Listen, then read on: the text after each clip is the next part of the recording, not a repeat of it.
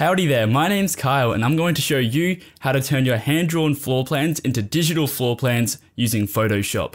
This video is part of the floor plan course here available on YouTube, which this is the fourth episode in this series. This course started by touching on the basics of what a floor plan is and then leaned into learning about scale in floor plans and then the last video, which was how to draw diagrammatic floor plans. And so now here we are in the sketch design phase where we need to draw a sketch design floor plan. In the real world, a sketch design is what you provide the client to give them your initial ideas and thoughts about the project, about your design. It is definitely not fully resolved. It is purely there to convey your initial thoughts and ideas to get them signed off by the client before moving forward into the, into the developed design, which will be the next video. So let's get into creating a sketch design plan in Photoshop. So in the sketch design, you're still figuring out where things are going to go and the building is still fluid. The design is very much flexible at this point. So you're not going to get stuck on one idea for your form, for your design at this point. In fact, the whole idea of it is to be able to provide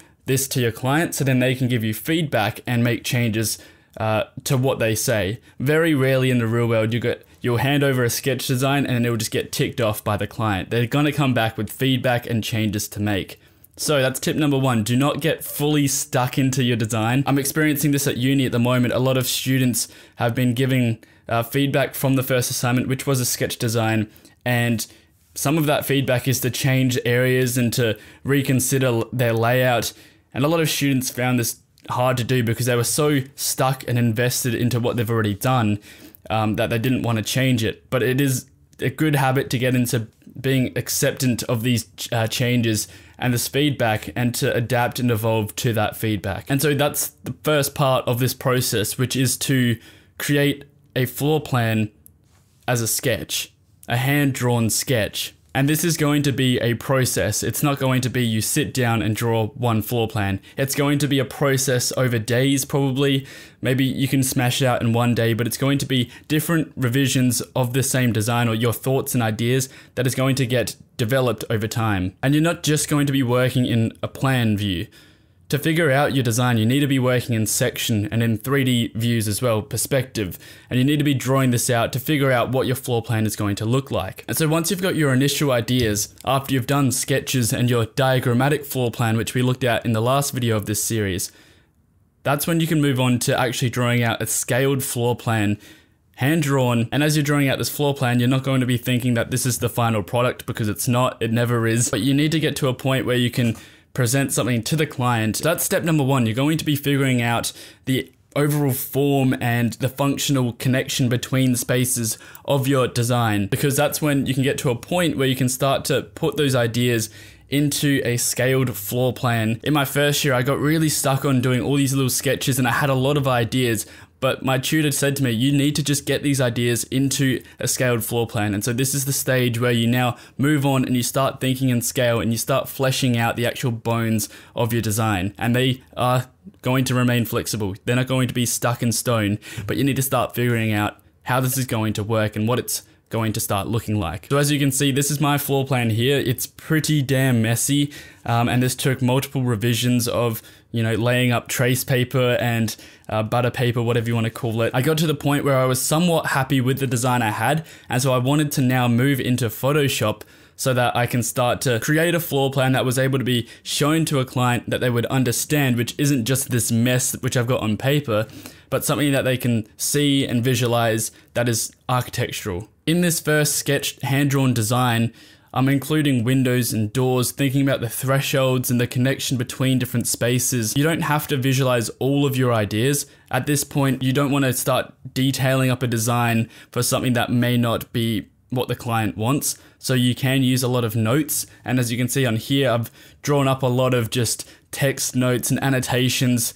showing what can go here, but I haven't completely detailed to resolve those designs. And so that's another thing to consider because this isn't set in stone and because the client can say no to your ideas, you want to keep it flexible and you want to use this as an opportunity to flesh out the overall structure of your design and not really get too in depth about the little details at this point.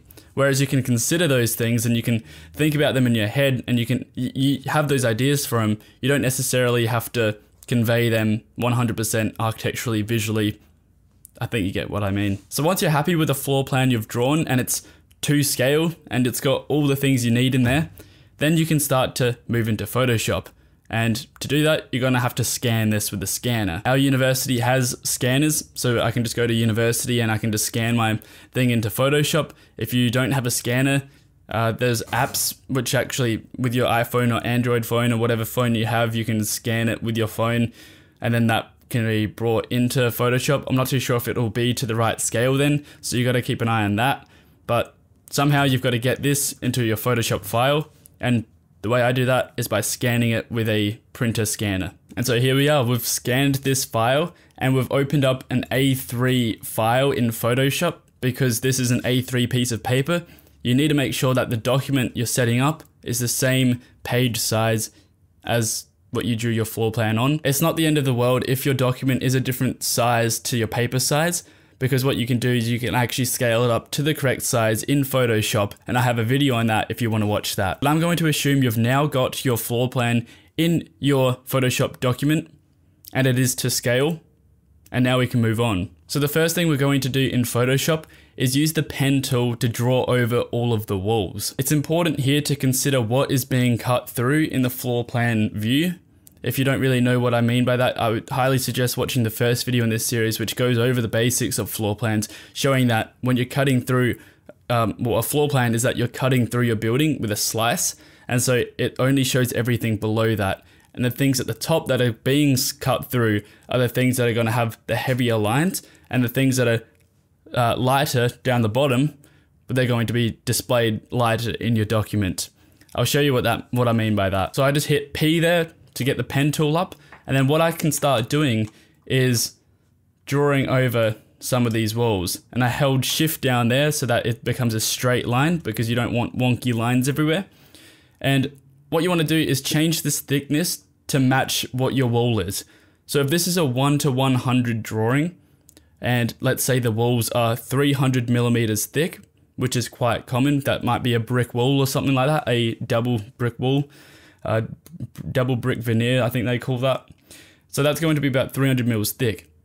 So at 1 to 100, I need a, well, I think a 3 mil thick line. If I get the marquee tool out, I just hit M there, then what I can do is just find the width to be 3 mils. And so that's about that thick. And so that matches the walls I've got there. And so I'm going to try make this this pen tool the same width as those walls. So I'm going to hit P again to bring up my pen tool. I'm going to change this to maybe, I'm just going to test this out, 20. And it needs to be a bit wider than that, so I'm going to try 30. That looks like it's about to scale. That could be about 300 mils, and I can double check that if I want by using this tool. That's about 2.5, so we can go a bit bigger than that actually. Let's say 40. Get the marquee tool out and we can see that that is now 3.5. So it's going to be a bit smaller than that. And it's just this process of going back and forth. So I'm going to say 35 and I'm going to assume that's right because it's in between 30 and 40 and there you go it's about 3.3 I'm a little bit over there so I'm going to keep that doesn't have to be perfect is what I'm trying to get at here now I'm going to change this color to be a black so that it showcases the wall like in any floor plan. And I'm just going to go around the rest of my walls and do this exact same thing. I'm going to change this again to 35. I'm going to make this black so that I don't have to change it every time. I'm just going to go around holding shift and I'm going to draw up every single wall. As you're drawing this along, you're going to want to include windows as well because you would have included that in your hand-drawn design. And so by zooming in, I'm actually going to copy this base up by holding Alt and dragging it and I'm going to put that on the top. So now I can see where the windows are and I can easily toggle this layer on and off. So I can see that there are windows in between these walls here. And I can highlight that with the marquee tool and then I can highlight more spaces by uh, holding down shift and you can see that little plus comes up. And then I can start to highlight all the walls. I can turn off this base and I can rasterize this pen or I can make a um, add a layer mask, which is what I'm actually going to do. But as you can see, by doing that, we need the inverse. So what I'm going to do is click the marquee tool again by pressing M. I'm going to right click where these um, marquee tools have been, where the marquee tool has selected, and I'm going to click select inverse. Now it's selected everything else around that, uh, these marquee points. So now I can add a layer mask and Bob's your uncle, you've got two windows there. Well, not quite. What I like to do is then add some thinner lines to these windows to showcase where the architrave is and where the um, the actual window sits because it's not going to just be a blank spot. If you go around the entire thing and you can do that, then you can see you come up with a bit of a base layout, not including this part here, but you can see there's a base layout for where all the walls are. All we've done is gone over the top of the base layer, which is our hand drawn drawing, which is to scale, so we know that all these lines are now to scale. From this point, we can start to add in some textures. For example, you can see I've already added in a concrete texture down here, which indicates that there's a path there. And I'm actually just going to delete this and show you how I created that. Just going to delete that one as well. So using the pen tool, I'm going to use the curvature pen tool and I'm just going to draw around this path that we've got here. And since we've already done this, we can see that there's an indication of where the path is going to be. We can just easily draw around it. And I'm going to do this pretty roughly, but you guys know what to do from here. I'm going to rasterize this layer. That looks hideous. But now what I can do is add in a concrete texture once I find that. I've just found this seamless texture off of Google really quite helpful. If you are watching the floor plan course, once it's out in maybe a month or two, I'm going to add all the textures to that. So uh, stay tuned for that if you're watching on YouTube before that. And I'm just going to overlay this on top of what we've already done. And I can click on that layer we've already done. You can see I've created that path with the pen tool, but since we've rasterized it, it is now just an ordinary shape. If we select the pixels by right clicking where the actual icon, the thumbnail of that path is, we can click select pixels and that selects all of the pixels that are around there. So now if we bring up our concrete texture again, we can put a layer mask on it and that's going to mask around that texture. And what I like to do with these textures is use the dodge and burn tool.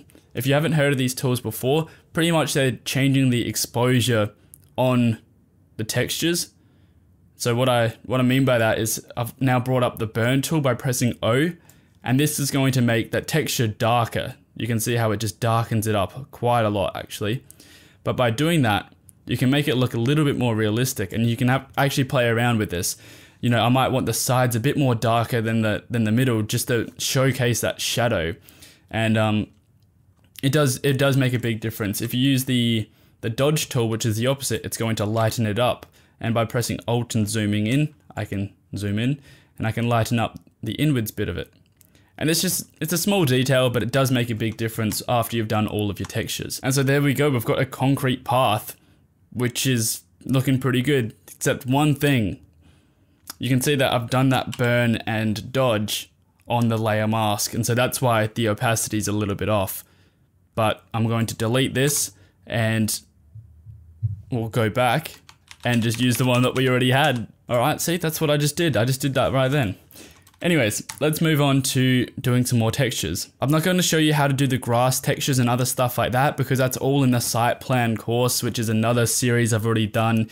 And I show you how to create cool, realistic grass textures and other textures. I show you how to use layer masks and all that stuff. So if you've got a spare 45 minutes, that's how long the course is. Highly encourage checking that out. And yeah, let's just uh, put on the textures. So I'm going to hide that. And as you can see, I should have a textures folder, which already has the textures to it. You can't see it because the base is there. If I hide the base, there we go. We've got some textures. And how much better does that make it look just by adding some grass in, right? I've also added in a bit of timber there, but I haven't gone overboard. There's no textures inside the buildings. And that's because I haven't really thought about materiality at this point. This is the sketch design, nothing is for sure. I could, if I wanted to, indicate what the floor material might be. I could have done timber floorboards in the classrooms and I could have done carpet in the bedrooms and the um, there's not even bedrooms here but in maybe the, the lounge space and I could have done tiles for the toilets and stuff like that but I wanted to keep it pretty simple for this for the sake of making it legible and readable. Because if you go too overboard with materials, yes, it can make it look nice, but then it also might drag away from what you're trying to show. And the point of this drawing here, being the sketch design, was to show the function between different spaces and how there's a connection and relationship between the two programs, which is an early learning center and an adult learning space. So materials are for the next assignment this was just about that stuff. That's why I have left it white. But you can go ahead and add materials to it if you want. It all depends on what you're trying to show. And so as you can see, this is already looking pretty good. You've turned a hand-drawn sketch floor plan into a visual Photoshop drawing. But there's a few more things we can do. The next part, you can add in some contour lines to showcase what the heights are of your floor plan. And so I've already done that. If I add in my contour heights, my lines, you can see that it's pretty basic. I'm just used the pen curvature tool and gone around where the contours are just to indicate the, that this part here is much higher than everywhere else. So once you've added in some contour lines, which I also talk about in the site plan course, so I'm not going to touch on here, you can add in trees, you can add in plants, and that's pretty much the basics of it. I go over all that stuff in the site plan course as well, but I'm going to delete that. The other thing you can do is add in annotations and text because there is going to be a lot of notes you have. As you can see from my original drawing, there is a lot of notes and a lot of um, information that hasn't been included in the plan but can be referred to just to make it more readable. But that's pretty much the basics of turning your hand-drawn floor plan into a Photoshop floor plan. It looks much better than if I were to hand up this piece of shit on my poster yeah, that would look terrible. So that's how you create your sketch floor plan design in Photoshop from a hand-drawn plan. The next video in this series is the, the, developed design, which is my next assignment, which I will create a video on that as well. That will be in maybe six weeks time, so sorry for the wait. So until that next video, take care and be well.